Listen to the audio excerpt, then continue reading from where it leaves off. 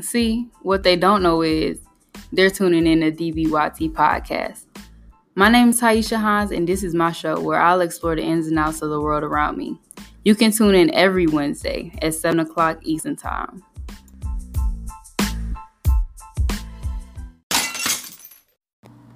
Disclaimer Explicit content will be discussed on this episode. If you with it, stay tuned. If not, I'll see you soon. All right, so on this episode, I really wanted to get y'all an update on what's been going on with me for the past, what, like six, seven months? Yeah, I know it's been a really long time, but we're going to get into that right now.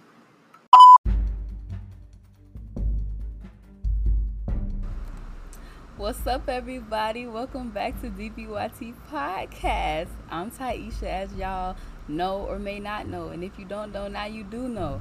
So let me tell you where I've been for like the past seven months. I was on a good start, and then my life really kind of took a turn. So uh, it was the day before Thanksgiving, right? And I got a call.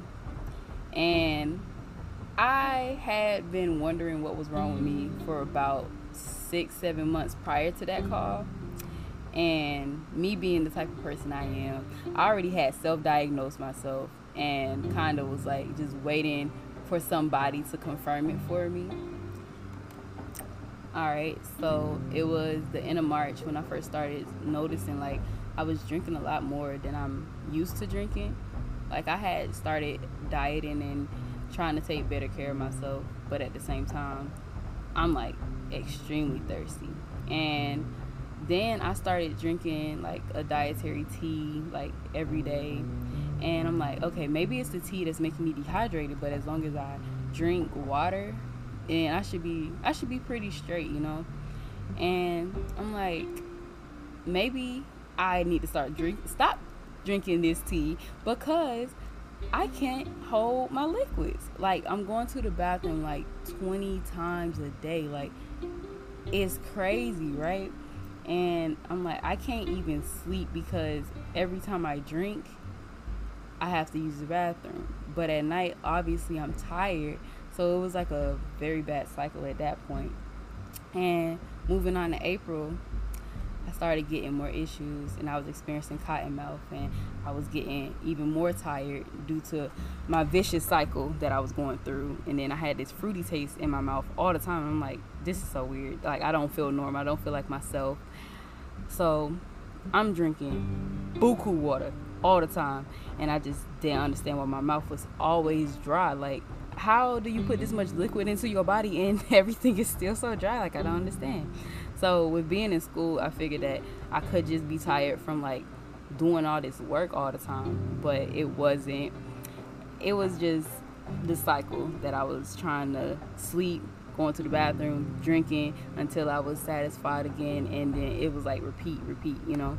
So May came around and I was out of school, and surely enough, you know, I had more problems coming into my life. So I'm going to the gym and everything. So, like with my parents and all, and after every workout session, I was feeling it like not a good feel, you know. So like my legs would get like stupid cramps in them, and they would like sink inward. So it's like some demon junk. like I'm like, bro, why, why me? You know, at this point, because I'm like, I don't know what else to do. So at like night, I'm sleeping with icy hot and cramp pills by my bedside because I'm like, these cramps in my legs that I'm getting are unbearable. And I'm like, I'm trying to lose weight. I'm trying to live a healthier lifestyle and whatnot. And it's like, I can't, I can't do it. So I'm just feeling like I'm dying. And I know that's bad to say, but that's how I felt, right? So, all right, the weight I was trying to lose um, for like the last year had came off of me in a matter of months. Mind you, I was hundred and eighty plus pounds, like for like a year and a half, and yeah, um, I'm gonna be honest. I did not feel the most confident. Like, yeah, I faked it till I made it because, honey, if you follow me on Instagram, you probably like, ain't no way she was 180. But I I wouldn't make that up. I was 180 pounds. So throughout uh, the summer, I am losing stupid amounts of weight, and by uh, August, I ended up being 130, and the lowest I had got to was 126 pounds. Right. So, all right. Anyways, back to the weight was coming off. Right. So I'm shocked. I'm loving my new body. It's what I've been working so hard for, and I had it. It was the start of my junior year in college, and throughout the semester, I noticed that um, my vision at certain times of the day would be worse than other times. And I figured, you know, I'm in college. I'm tired. I'm always doing something extra, you know, so I'm tired. And I'd be okay because it would clear up with time. But little did I know it was like my body was like really shutting down on me. So I had learned to accept my new body and what it was doing for me even if I didn't understand like why I had changed so dramatically. And like I had gone home cuz you know we have you know breaks and stuff throughout the year. And I had went to the doctor. And at this time I'm just feeling like okay this is my body. This is what it's doing. I'm getting older. So i didn't tell my doctor what i had been going through that past year because i thought i was getting better with time and i'd be back to my old self with even more time so about a month and a half had gone by and i was home for another break um, it was thanksgiving break actually and i had gone to the doctor again because on my previous conversations with her uh, you know, she had thought I had something. Dun dun dun. and okay, so um it's November 27th. That is the day before Thanksgiving. And I'm in my mom's room, sitting on her bed, and we laughing and stuff. And I had been to the doctor's earlier that day, that morning actually. And I had got my lab results back from my doctor um, through, you know, my phone and whatnot and we're just looking at like all the numbers and graphs and stuff and we like we're not really understanding like what we're looking at so we're looking everything up on google like okay what are the number i mean little sorry. What are the normal numbers for this and what is this and what does this mean you know what i'm saying? And then to our surprise the numbers didn't match any of the charts that we were seeing online. So we were like what does this mean? And so, I kid you not, the phone rang and I answered. And the lady on the other line was like, How are you feeling, Miss Hines? Are you aware of your glucose levels? You need to come to urgent care immediately. And all I could remember was how anxious I was feeling because I'm like, I'm fine. You know, this is my new normal. You know, like, this is me now. So, after months of researching and worrying and wondering, um, I had finally got the answers that I had been searching for, and I had been diagnosed with diabetes, and it was like it was something new, but it was so familiar, but it changed my life so quick. Because it was like I had been living with diabetes for all this time and I I like in the back of my head like due to my research and all I knew I had diabetes but it was like when a doctor said it was like dang that just really put the the stamp on the paper for me and like verify a lot of my my doubts and my wonders you know so it was like i had to really learn how to live my life with like new restrictions and just to like keep my life because my levels were like dummy high and like what they were saying, it was like, oh my gosh, like your numbers are at stroke levels and da da da. I'm at the doctors at this time. Well, I'm at the hospital technically, and I'm just like, they're like, I'm sorry, but um, the doctors are asking me while I'm there. They like, how did you let your glucose get out of hand like this and X, Y, and Z? And I'm just like, bro, I don't even know what y'all are talking about. Like, literally, I just found out when y'all called me to come in, and one of the doctors was telling me that um, I could have fell into a diabetic coma, and that people don't understand the dangers of like diabetes and stuff. So yeah, it scared me, and it took me a long time to get back to this place to where I was comfortable enough to be like, I'm gonna sit down and talk about it because like that junk is scary. Like you could really, you could really lose your life if you don't like be healthy and like treat your body like it's like precious for real. And the crazy thing is, I thought I was being like healthy. so I'm like, I'm laughing because you know, it it's not a joke. Like diabetes is definitely not a joke. It should be taken so serious. And I like encourage you guys to go and learn more about it if you want to, because it's not a. I mean, for me, I believe it's genetic. Uh, my grandmother had it, and I guess she passed it on to me. Um, but you can also get diabetes at any time because I'm 21. I had it since I was 20. That's not a, a, like a normal age that people are usually diagnosed at. They are usually diagnosed like with type 1 at an earlier age, like, you know, four or five years old. And then type 2, you usually get that in your 40s. And I'm like, I'm smack dead in the middle. And literally, they still trying to find out, like, what what am I? What type are you? And what's going on with you? And why is this happening now? And X, Y, and Z.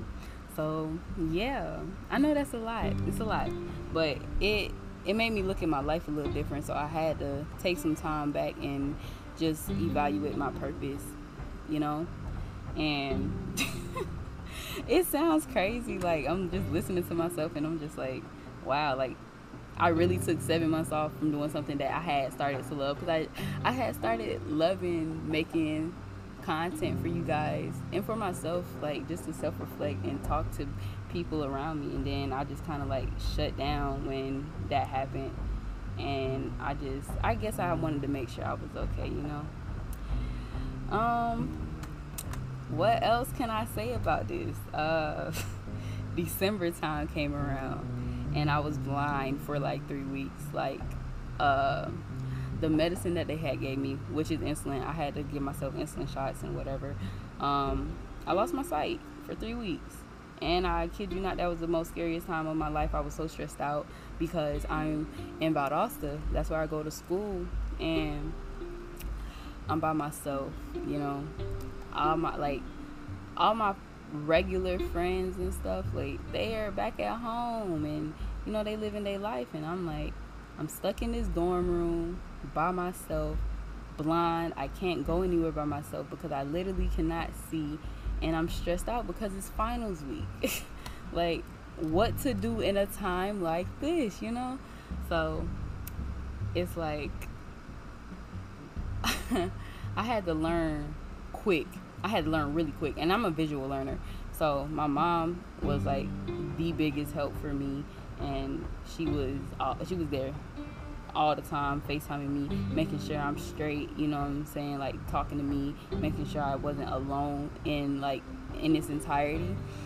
That's a real one. That that was awesome to have her help me, especially during like my study sessions. Boy, when I tell you I had to learn with my like like I guess it's auditorial listening. Oh, auditorial listening. Auditorial learning. I am a visionary. I have to see things, but those few uh, weeks and days or whatever I was down there, oh, I learned real quick. It was a lot of repetition. It was a lot of hard work, and honestly, I came out uh, making dean's list for fall 2019 at Valdosta. That was dope. I passed. Like I got um I got exempt from some things, you know, but the for the things that I didn't get exempt for, I worked really hard. I had to still present in my classes, and I, I'm trying to figure out how to deal with this because remember I'm I got diagnosed the day before Thanksgiving. I'm back at school the very next week by myself. I lost my sight that Saturday after uh, Thanksgiving. So I'm just, I was in under a lot of pressure, and I didn't know how to cope with everything. But I'm in a better place now. So, all that being said, uh, that's what's really been going on these past seven months. I've just been learning how to gain my confidence back and be able to come back to what had made me happy. Well, like, yeah, it makes me happy to make content and I enjoy it. Like, it gives me something to do, it gives me something to look forward to, you know, and just to see like y'all feedback on my material is it, it helps. So, yeah, um,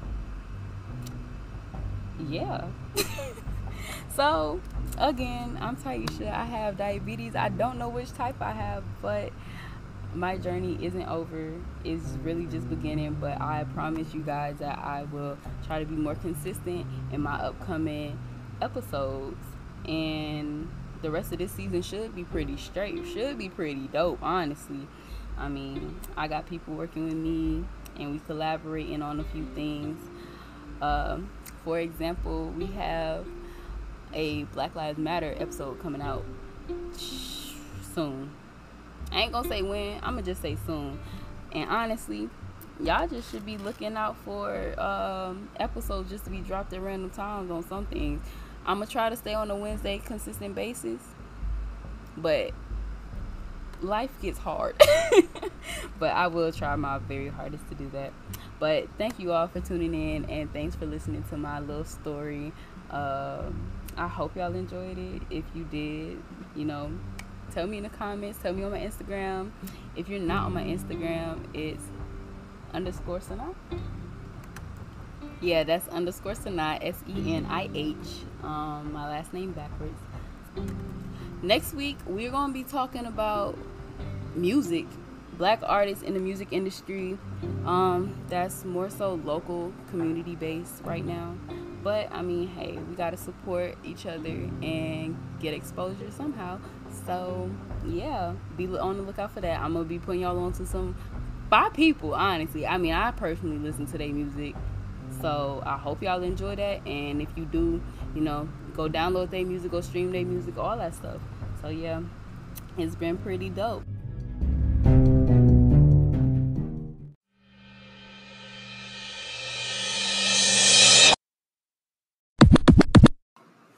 All right, so that's all we have for DBYT today.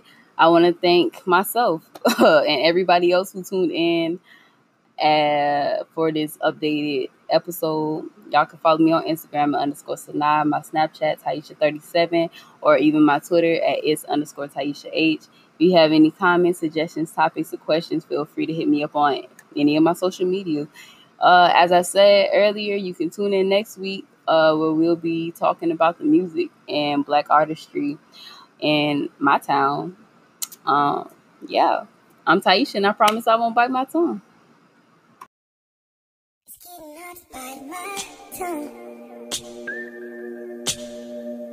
Making me feel so dumb.